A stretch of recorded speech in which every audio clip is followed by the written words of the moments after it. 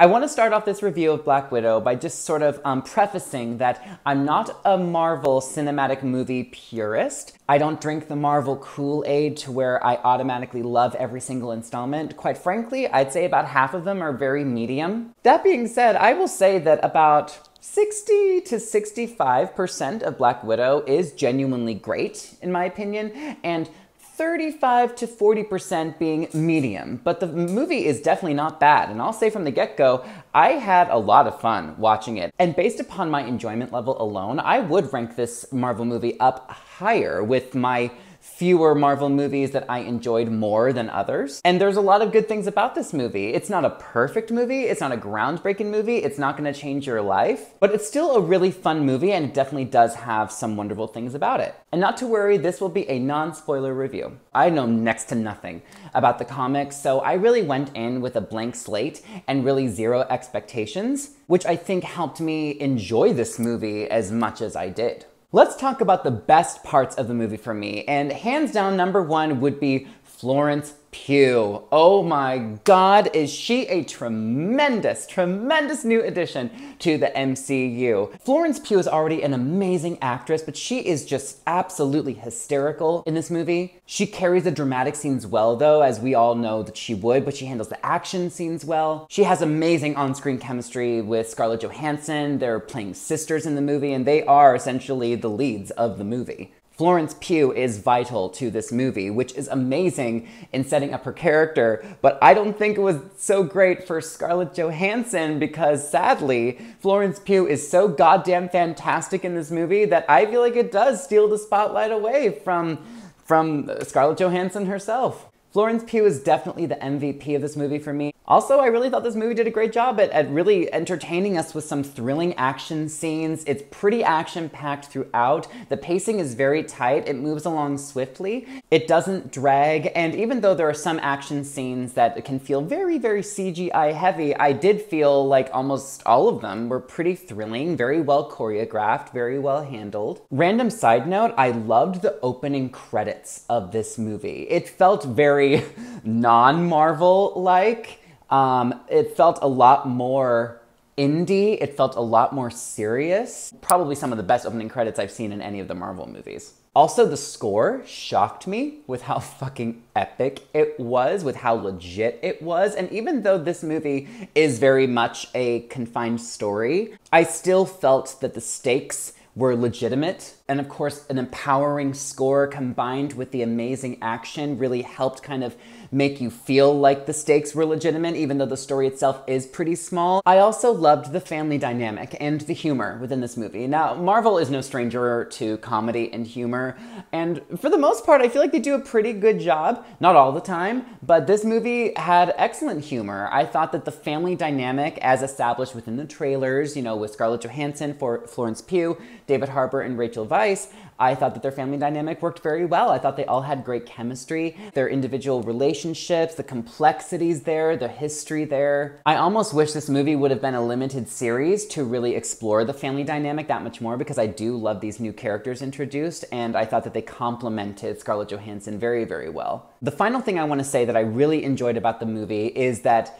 it is exciting the things that it does set up for future Marvel movies. Now, I'm not going to say anything, I'm not going to spoil anything, but for those of you looking for fun Easter eggs and exciting things to be introduced or, or set up for future films, it got me really, really fucking excited. And I feel like that's how you want to leave people really, really excited to see what happens next because we are entering a new phase in the MCU. But at the end of the day, this movie is not perfect, and so I, there were a couple things that I think needed a little bit of work. But my biggest qualm in general is I do feel like this movie would have worked better had it been released chronologically um, within uh, Black Widow's lifespan. As in, I wish this movie had come out before Avengers Infinity War and Avengers Endgame, because having seen Avengers Infinity War and Endgame, spoiler for those movies, but they've been out for a few years, so whatever in, in, in, Avengers Endgame, we all know that Natasha, Black Widow, played by Scarlett Johansson, tragically dies. So this movie is meant to be a bit of a prequel, but it's also a movie to give us closure. Even though we know she dies in a different movie and this the events of this movie take place beforehand, I did feel like this movie missed the mark at giving us the type of closure that I think a lot of fans will be craving. This movie gave us so many great moments with Black Widow, but I don't I don't feel like they went far enough in giving us uh, a little bit of an emotional send off for the character, since this will ultimately be her legacy and pro- possibly last time we see Scarlett Johansson in this role. I mean, never say never, but we know the character dies in a, la- a latter film, so I kind of wish I would have felt more closure and completion to this overall character. And I think there are ways they could have done that, but I felt like they focused a little bit too much on setting up the future and getting you excited for the future. I feel like the writers could have done both set up the future while giving us closure, but I felt like it was very one sided in that. Also, I will say that there were some plot elements and and uh, certain characters or progressions that felt kind of convenient, um, felt a little bit lazier or or simple in terms of execution. Uh, some things that weren't very innovative. But I forgave some of the laziness in some of the writing because I did feel like, you know, the action and the characters and the pacing was strong and it was en- entertaining throughout. And so many Marvel movies tend to be a little bit simple or they tend to play it safe, and so this movie played it safe a number of times. Also, I do feel like this movie was strong in executing all of its first, second, and third acts in general. However, I was let down by the very, very end. I feel like when they went in to stick the landing, the knees buckled. It wasn't bad, but it, it, it, wasn't great. It wasn't what I was necessarily looking for because I felt like there was a lot of good stuff leading up to it. I kind of wish that they would have stuck the landing a little bit stronger than they did. And ultimately, I also feel like Scarlett Johansson, though she did a good job, I don't feel like she was given the Wonder Woman treatment, if you will, or or the WandaVision treatment, like really diving into this character. Yes, of course, there's exploration into her history, and she is definitely like, you know, the center focus of the movie. However, I feel like there are so many things about her, so much about her history, and so much about her character that we've yet to really dive into and eat up. And it doesn't make things any better when you introduce very exciting charismatic characters like Florence Pugh to be your co lead, therefore having to fight for the spotlight in her own movie in, when talking about Black Widow. So at the end, I wasn't left feeling like she was given her due, much like, you know, Gal Gadot as Wonder Woman or, or Elizabeth Olsen as Wanda Maximoff. She was fine. She was good within her own movie, but she wasn't an MVP for me. But with this being her only and final movie, I guess I would have wanted the script to have given her a little bit more meat to chew on and really go out on a high note.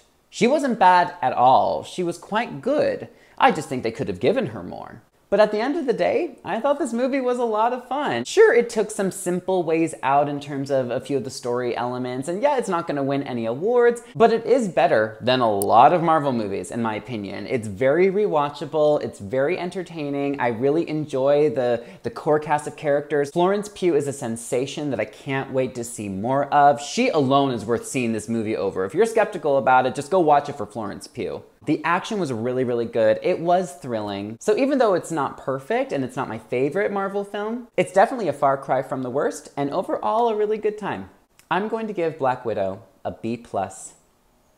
And that's my review for you. So I'd be curious to hear your thoughts, so feel free to leave your comments down below, but please be careful not to spoil anything or mark your comments as such. As always, thank you all again for tuning in, and until next time, I'm Ryan Boehme signing off. Bye everyone.